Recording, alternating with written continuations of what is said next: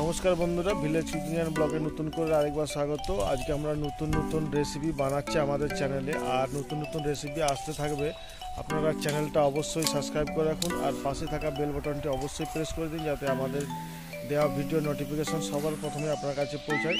ধন্যবাদ।